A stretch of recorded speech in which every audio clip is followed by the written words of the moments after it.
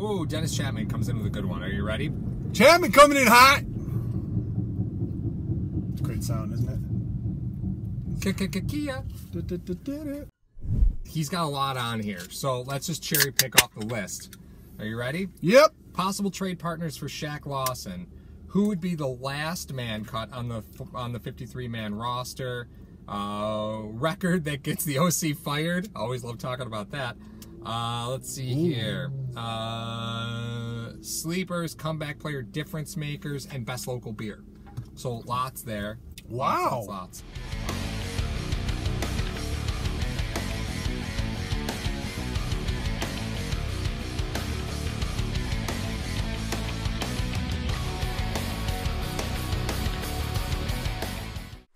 Are you not entertained? Subscribe now! Uh, possible trade partners for Shaq. I, realistically, I don't see Shaq getting traded unless they can secure a player with more than one year on their deal, right? So we keep talking, oh, yeah. trade Shaq for Clowney, and I mean we've we've been we've talked about that, right? I'm not going to say that I'm I'm going to champion a move of trading Shaq for Clowney if you include a draft pick with it, because Clowney's he's on the last year of his deal. So I, I think you're kind of swapping to swap at that point, right?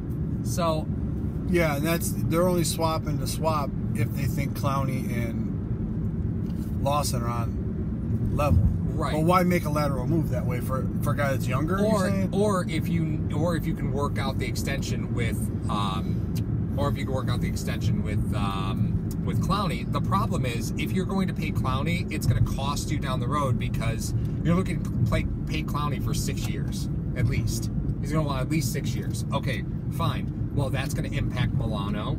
That's going to impact Dawkins. That's going to impact Tre White because you're going to have to, you're going to have to pay him in, in yeah. a, a, season after this one. Yeah, you know, you start looking down the line of players that you need to pay, and truthfully, the Bills built everything that we talk about is great on one and two year deals for everybody they brought in. Yeah. So I again, you start giving big contracts out, and you're just you're chop you, you know you chop your nose off to spite your face at some point. You yeah. know, and that's and that's kind of where you set. Well so do I see them trading Shaq?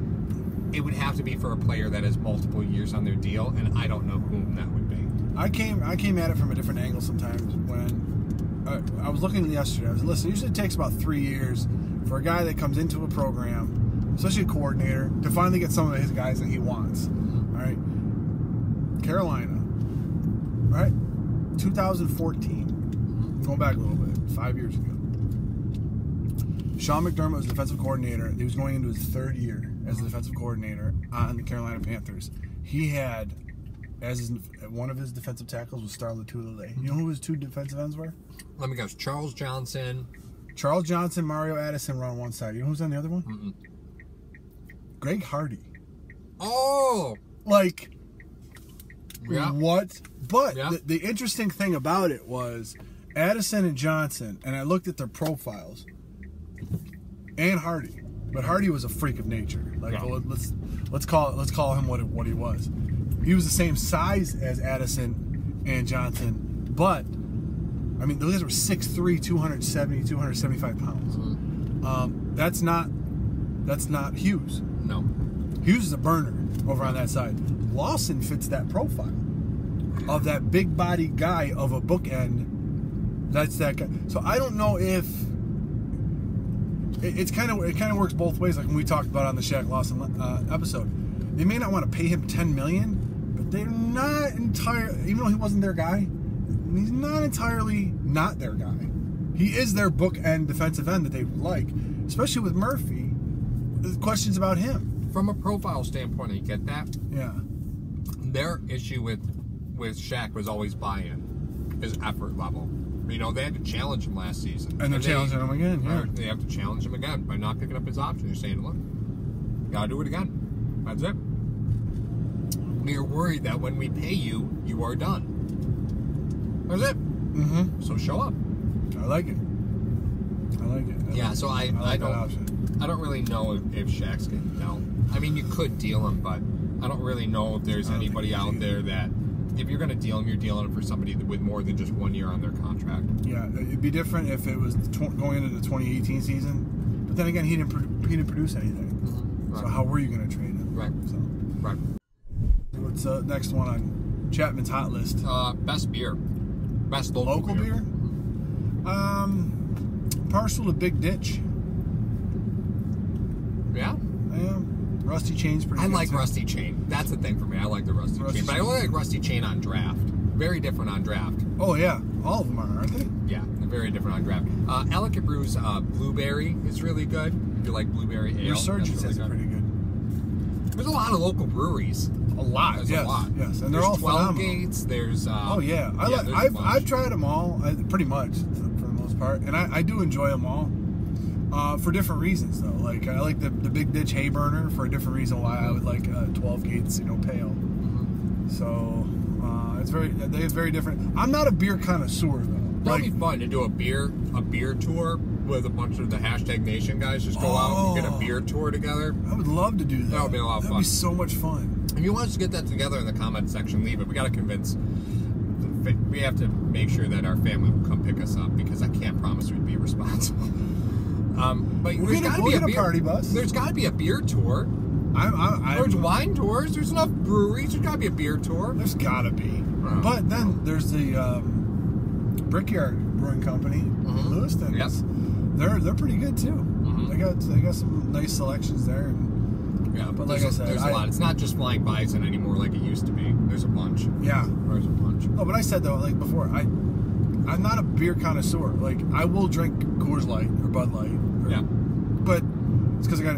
If, if you talk to some of our, uh, our cohorts, it's because I have a grudge against myself. Yeah, that's it. That's it.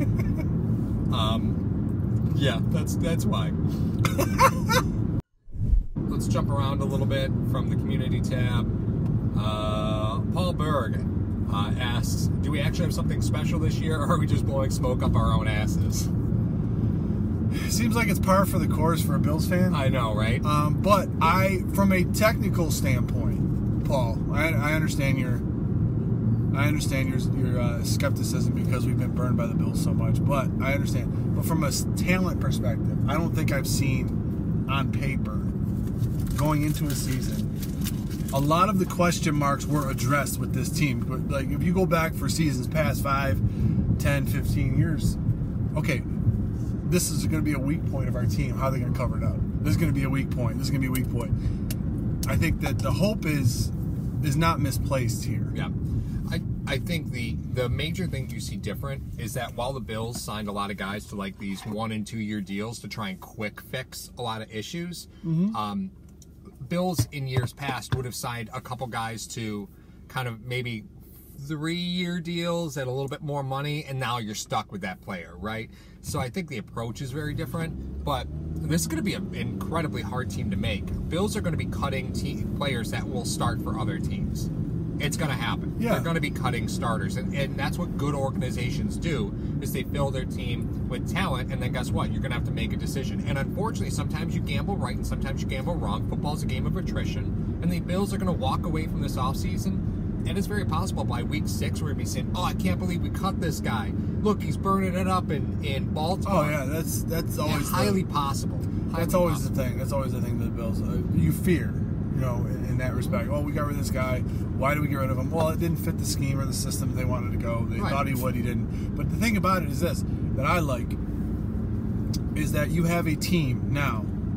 In the past, Bills had to overspend for certain free agents to get them to Buffalo. And then when they got here, they're just collecting a check Right. and they weren't all out. Now, because of the process that has been established, the, the f- framework and everything that's going on, players are coming here on one or two year deals because either they want to stay here or or the prove it deals. You know what I Mhm. mean? To try to you know uh, get paid for a more a longer deal. But that's what's happening now. Guys, guys are actually gravitating toward the process, Right. and I think that's the biggest difference as well. So Snarl asks us about offensive philosophy. So My ears perked up. I know.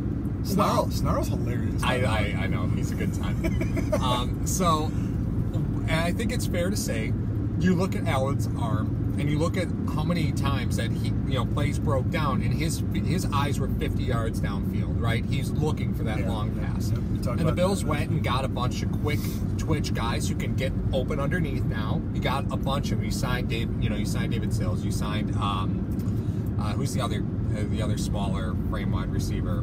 Uh, his name escapes me. The Bills signed another UDFA that fits a similar profile. I don't remember. Uh, you signed Beasley. You signed John Brown. Um, so you got guys that can get open now, right? So from an offensive philosophy standpoint, how many times do you see the Bills rushing a game that aren't QB based? And do you think the Bills are going to depend on the long ball or not? Or do you think at this point the Bills are going to, you know, try and threaten with the long ball, but that's not really where their offense is? So what's your what's your philosophy walking in? Oh God, it's so difficult to try to figure out what Daboll's going to do because I never know what he's going to. But if you want to talk about, I'll go back to a previous episode. Mm-hmm. Why is Shady so dangerous? Other than the fact that he's a great oh, uh, instinctive runner, mm-hmm. why is he so dangerous? The threat of going outside mm-hmm. has guys overplay, and he cuts it up behind them. Right. The threat, not that he's going to every time go outside. The threat of him going outside. So, like you just said, the threat of the, the deep threat is one of those things that you're going to have to account for, which opens up things underneath. Right. Then, what Daboll has to do, in my eyes, I know I'm not a professional here, mm-hmm. but when they start to adjust to those underneath routes, that's when you start seeing in the middle of the third quarter a 60 yard bomb for a touchdown because you've accounted for that, you adjusted for that. You're playing chess, not checkers. Mm-hmm. The thing that Allen gives you, that we talked about a lot last year, and it, not every offense can have this. There's probably only about seven offenses in, in the NFL that have this. You have to cover 100 by 53 with Yeah. Allen. Not everybody, not every team you have to do that. So they're saying, okay, our philosophy, let's say, for give me a weak arm quarterback. Give me a weak guy Chad. Pennington. Chad Pennington. Let's say Chad Pennington's in. You drop. He drops Tom back. Brady. Wait, Tom Brady. What's wrong with me? Tom Brady. Okay, Brady's in the game. What the what the defensive philosophy could be is to overload his one side. Because I don't I don't like Brady because he doesn't throw deep. Yeah. So you have him try to roll right. You cut off half of the field because he can. Allen can hit that on that side, rolling Right. to his right. That's why you always got to cover all the field. So that you got that threat. You got now deep threats like with Foster and Brown. Yep. You got Be- you got Beasley underneath, along with a couple you know new tight ends um, with Zay Jones and a lot of those guys. You got the threat of going outside. If I had to ballpark a number, I'd say it would depend on how the defense comes into that week and what their strengths are. Because the mark of a good coach is not only exploiting their weaknesses, it's exploiting theirs while covering up your own at the same Right, time. yeah. So, um, what they have to do, I, 15 to 20 runs a game that aren't Allen, Okay. I'm fine with that because Yeah. that means that you're generating first downs, you're controlling the clock, you're giving your defense enough time to rest, which is one of the complaints we had last year. Yeah. Was they weren't letting the defense rest enough because by the mid third, early fourth quarter, the defense was gassed. Yeah, the Bills were terrible in, in drives that didn't generate a first down. Oh, Like, They were yeah. awful. It was so bad. But again, you you you look, and a lot of fans point at the offensive line and say, "Well, that's the offensive line's fault." Well, you did have four four, four different starting quarterbacks last year, so Yeah, I mean, you have to you kind of have to weigh this a little bit and say, you know, uh, where truthfully was was all of the fault. You can't really evolve an offense over the course of a season and adapt when you're constantly hitting the reset button at quarterback. You can't do it. You yeah, what the the thing that Allen gives you now, and the other thing else, consistency. If you can start developing consistency, all right. This is one of our bread. Let's say it was one of our bread and butter plays. We like running. We like running all the time. Boom, boom. If we're in this scenario with this guy, we'll run it like this. If it's in this scenario, this guy, then we'll run it like this. You can't do that with multiple quarterbacks, multiple linemen, multiple wide receivers. So, as early as possible, they got to get their guys, especially on the offensive side of the ball, because it's a lot easier to adjust the defense. Mm. Offensive side of the ball, they got to get their guys in there. They got to get their guys gelling quickly. So I wouldn't be surprised if their starting five offensive linemen were named really quick after the bloodbath of guards, I don't know because you have to gel quickly with that. yeah, but we didn't line. see that last year either, though. It was just a Last year was a rotation. tryout. Last year was a Constant tryout rotation. for everybody. You know what? We actually had it mentioned on the on the on the community tab. We forgot Teller. Yeah, I yeah, we did. But he has practice squad. He does. If if the Bills were going to run the ball 45 times a game, I'm in on Wyatt Teller because he's super aggressive.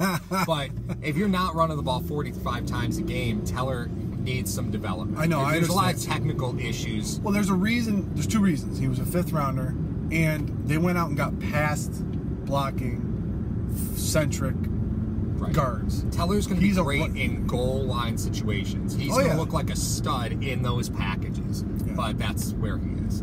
And Teller's at a size where you could put him out as like you could put him on on the end as like a big TE. As Yeah. as pass eligible. Stop. Just saying. Just saying. He, He wants to he join goes- Dawkins in the, in the he goes to touchdown throw- reception club. Teller throws some boys in that run blocking game. Yeah. But not not when it comes to pass blocking. So But getting back to no, what I was saying, like if they run 15, 20 times a game, if they pass 15, 20 times a game, as if that's your if that's your goal going into it, I, I can understand it. But you don't have three running three starting caliber running backs because you you only want to run the ball 14 times. Um, last one on the community tab for right now. Do we see the Bills signing any um, any free any more free agents in this offseason? Uh, that was from John Patrick. I I really don't feel that way at this point. Is Johnny alluding to Ndamukong Suh, who's still not signed? The, I mean, the Bills have the space for him. I mean, Because we had a we had a we had a comment. I can't remember who. This is why I'm so awful the but there's some dynamic issues there. You know, like that's. Well, I don't think reason he's going to look at the Bills as a contender. And Suh's at a position where he's going to want to play for a contender, you know. And he's, I'm sure he's happy waiting till week three to get signed by the Patriots for three million dollars or four million dollars. He wants to. He's that's crazy. That's that's the deal. I think he's perfectly happy waiting this one out because there's going to be a team that's looking for the move, and he'll be the move. You know, and that's and that's okay. Yeah. If you had to name, John Patrick also mentioned, if you had to name the weakest position on the team, what is it? Offensive coordinator.